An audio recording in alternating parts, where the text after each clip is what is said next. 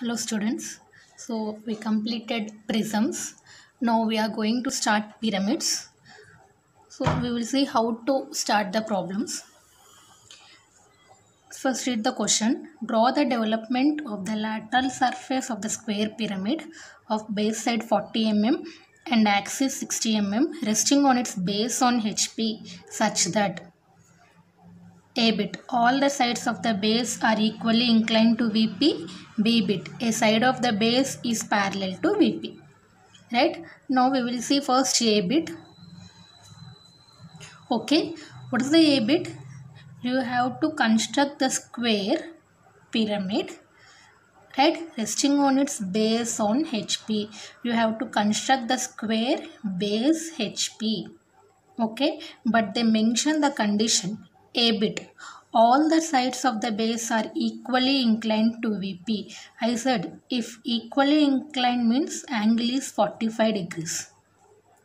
Okay, so you have to construct the square base on HP. Condition is equally inclined to VP. So how to construct this one? First A bit. Draw the reference line. Name it as XY, VP, HP right? So equally inclined no angle is 45 degrees. Take 45 degrees angle. Leave 5 mm gap. Construct the square. Keep your protractor here. Mark 90 degrees. Length of the square is 40 again keep your protractor on this line. From here mark 90 degrees. Length is 40 again keep your protractor on this line. Mark 90 degrees. Length is here 40 right? See we are constructing square on HP such that all the sides of the square are equally inclined to VP 45 degrees. Right? So this is pyramids. Name it as A B C and D. Okay? From A project the point till reference line. From B and D project the point till reference line. From C project the line till reference line okay? Now how much is the axis side 60 mm draw the axis side 60 mm join this one here. Right? So what i said for pyramids definitely you have to mark the midpoint. Mark the midpoint name it as o name it as here o dash. Right? Now what is the point name here? A dash. What is the point name here? B dash of d dash. What is the point name here? C dash now this is the first part right? Now we are going to draw the development of the square pyramid. How to draw the developments for pyramids? Okay see here. From o dash draw a straight line of any length. Draw a straight line of any length. Now exactly parallel to this slant edge exactly parallel to this slant edge move your scale like this and draw a line. Right exactly parallel to this one draw the line. Name it as this point is o this point is a. Okay? Now keep your compass here with o as center oa radius. Draw an arc of any length. First draw an arc of any length. Right? Just keep your compass here. Take this length and draw an arc of any length. Now number of sides sides for square is 4 side is how much? 40 mm so take 40 mm length with your compass. Keep your compass here. Draw one arc. 1 2 3 4 square has four sides. We are drawing four arcs. Length of the square is 40 mm right? So name it as b c d. What i am saying starting and ending point should be same. A right join o to a o to d o to c and here o to b. This is the first part of question. Okay now see if you are going to draw sectional planes if you are going to draw sectional planes suppose i am taking one question here. Sectional plane perpendicular to vp inclined at 60 degrees to hp right? So they mention the condition inclined at 60 degrees to hp what is the another condition? Bisecting the axis. 60 degrees to hp means we are going to draw an angle here. What is the condition? Bisecting the axis. So mark the midpoint for the axis right? I'm saying no just keep your protractor here. Move your protractor like this and see where 60 degrees touches this point just move your protractor like this right? Now draw the sectional plane. Draw the sectional plane. You are drawing the sectional plane in vp so name it as here vt okay? Now how to mark the points? How to mark the points? This is the sectional plane. This is the coincidence point. Name it as here. P dash right? This is the sectional plane. This is the coincidence point. Name it as q dash. For b we are writing q.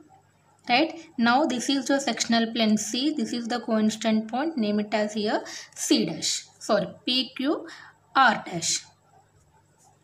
Right? Again d point is there no? In brackets write down here. Pq r s dash.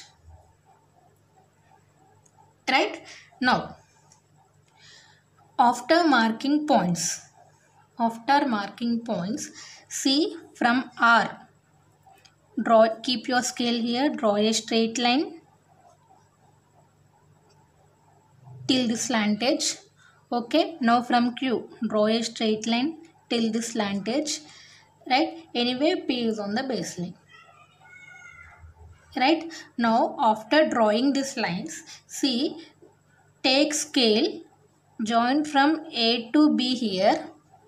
Take scale and draw b to c straight lines c to d and here d to a. Right? Now see in between a and b in between a and b you have to mark p dash point. From a dash to p dash. Mark the point here. P dash.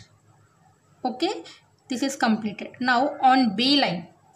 What is the point? Q. Right? So this is your q line. Keep your compass here. Take this distance. Q is in between o and b. Right? So in between o and b you have to mark q point. So how to mark q point? Keep your compass here. Take this distance. Draw an arc. Mark here. Q point right? Then next see here r. R is in between o and c. In between o and c you have to mark r point. In between o and c. How to mark? Keep your compass here. Sorry keep your compass here. Take this distance. Draw an arc. Right? Mark here r. In between o and c r point. In between o and c r point. Right? Next point is s. S is in between o and d right anyway this is the line. Keep your compass here. Take this distance. Extend this arc in between o and d. S point. Right? Now see again d to a. D to a. Right? From d take p dash distance. From d take p dash distance. From d mark p point starting and ending should be same right if you join this p q r s p this is nothing but your development this development portion should be dark ఈ portion మాత్రమే dark ఉండాలి ఈ remaining అంతా లైట్గా draw చేయాలి right and one more thing we are drawing sectional plane here so ఈ portion మనం remove చేస్తున్నాం రిమూవ్ చేస్తున్నాం అంటే ఈ పోర్షన్ లైట్గా డ్రా చేయాలి right? If you see another question definitely you will understand. We will see another question. What is the b bit? In this question only b bit is there no? What is the question? You have to construct the square based on hp b bit is a side of the base parallel to vp a side of the base parallel to vp right? So i'm taking b bit here. If i'm constructing the square like this right? This is your reference line. Naming it as xy vp hp now see square base on hp square base on hp what is the b bit? A side of the base is parallel to vp this is the side parallel to vp this is the side parallel to vp so construct the square. Name it as here. A b c and d. Mark the midpoint. Name it as here. O okay? Now project all points till this reference line. From o also draw the axis line. Axis height is here 60 mm construct the axis height 60 mm join till this point. Right? This is o and this is o dash here. What is the point name here? A dash of d dash. What is the point name here? B dash of c dash. Right? So this is the first part of the question. After that what we have to do this is the square pyramid right? Now you have to draw the development of the square pyramid. How to draw the development for the square pyramid? From o dash draw a straight line of any length right? Then next what we have to do? Exactly parallel to the slant edge this is your slant edge right? Keep your scale here. Exactly parallel to the slant edge draw a line here. Name it as o and a after that what we have to do with o as center oa as radius draw an arc of any length right? Then next what we have to do you have to divide this arc into four equal parts because square has four sides. Length of the square is how much? 40 take 40 mm with your compass. Keep your compass here. Draw an arc. 1 2 3 4 40 mm name it as b c d and this is again a. Starting and ending should be same.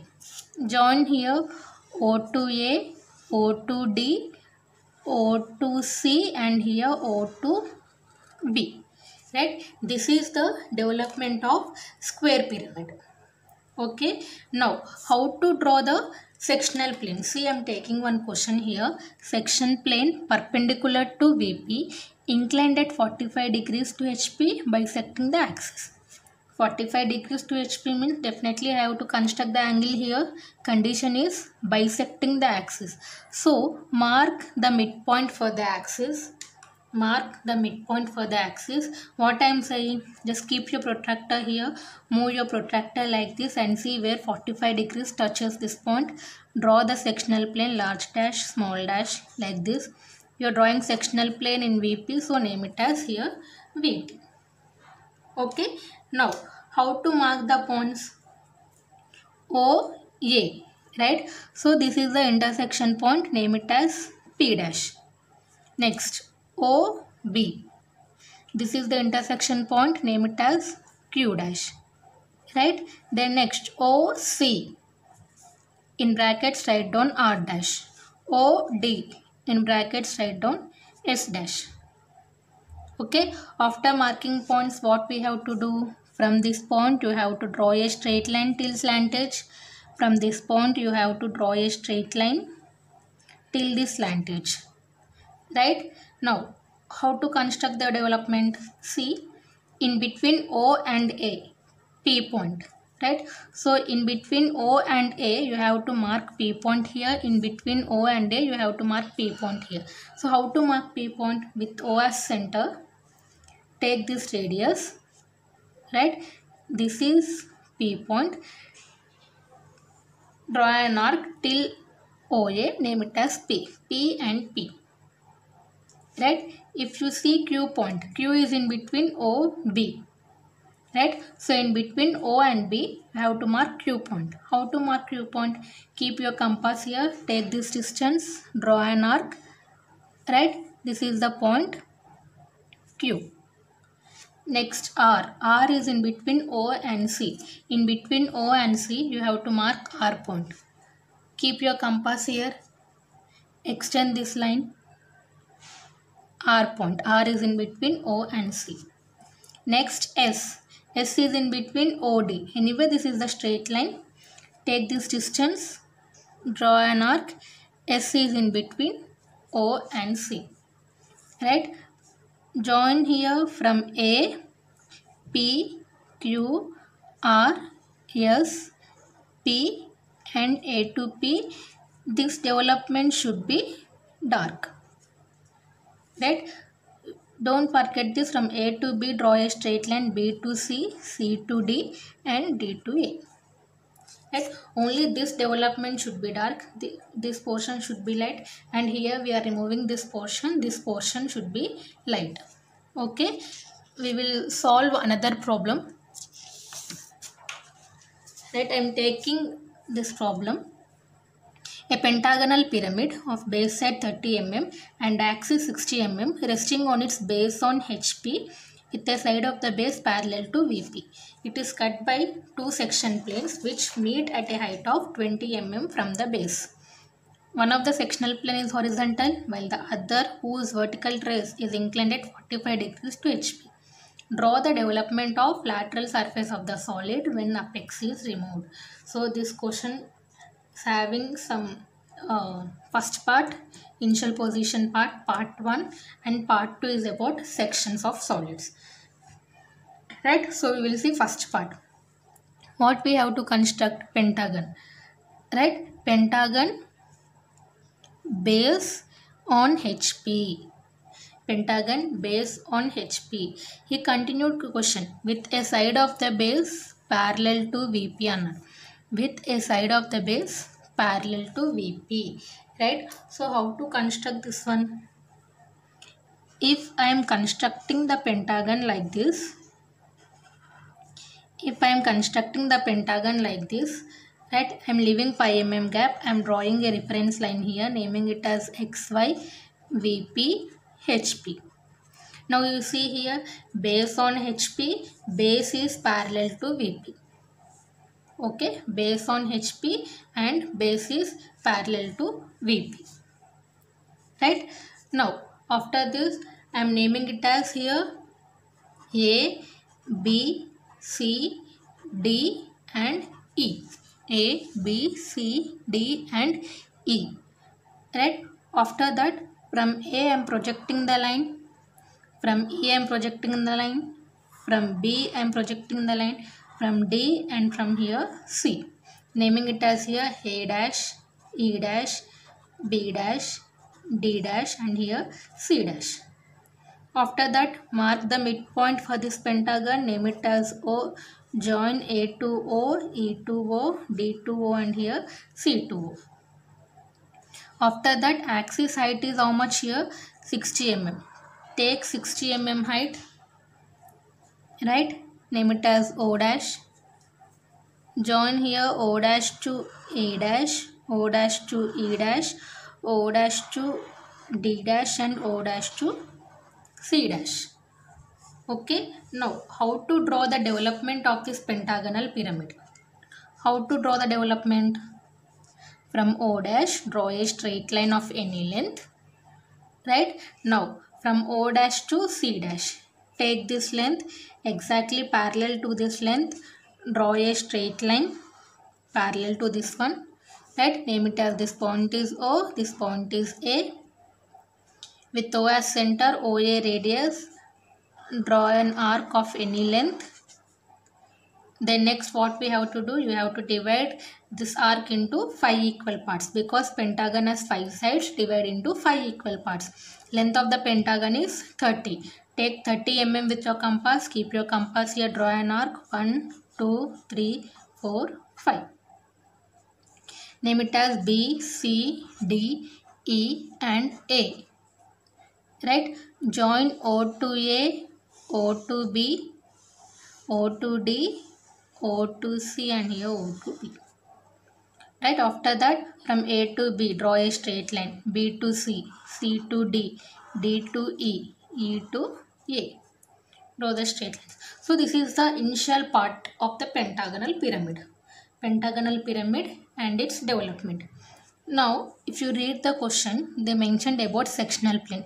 It is cut by two section planes previous all problems we are drawing only one sectional plane but in this question they mentioned two sectional planes okay which meet at a height of 20 mm from the base which meet at a height of 20 mm from the base from the base mark 20 mm distance first one of the sectional plane is horizontal so draw one sectional plane which is horizontal while the other whose vertical trace is inclined 45 degrees to HP.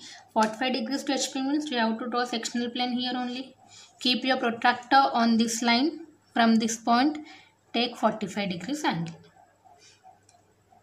See in this question they mentioned it is cut by two sectional planes. We are going to draw two sectional planes which meet at a height of 20 mm from the base. From the base mark 20 mm distance. One of the sectional plane is horizontal. One of the sectional plane is horizontal till here only. Right? While the other is inclined at 45 degrees to hp keep your protractor here. From this point take the angle 45 degrees one of the sectional plane is horizontal one of the sectional plane is inclined at 45 degrees to hp clear? Right. Now how to give the points for a dash? This is the sectional plane. This is the slant edge name it as here. P dash. For b dash q dash. For c dash r dash. For d dash s dash. For e dash t dash. Okay after marking points what we have to do from r draw a straight line till this slant edge from s draw a straight line till this slant edge again here see p t q are in straight line only. So draw a straight line here. After that what we have to do? P is in between o and a. In between o and a this is the p point. Right? Again o and a you have to draw p point no o as center op radius draw an arc this will be your p point right then next t is in between o e in between o and e mark here T point. T point is in straight line only. Right. Then next Q. Q is in between OB. In between O and B. Mark here Q point. Right. P, T, Q. P, T, Q are in straight line only. So I am marking on a same curve. Then next C. S is in between O and D. In between O and D you have to mark S point. So how to mark S point? O as center take this distance draw an arc in between O and D mark here S point right then next see last point is here R. R is in between O and C. Right? Keep your compass here O as center. Take this radius. Draw an arc. In between O and C what is the point name here? R. Right? Join from A to P. Q. R. S. T. P. Again P to A and here this should be dark right? Only this portion should be dark this portion should be light. And again see here these portions should be light because we are removing this portion. These portions should be light. So this is the problem of pentagonal pyramid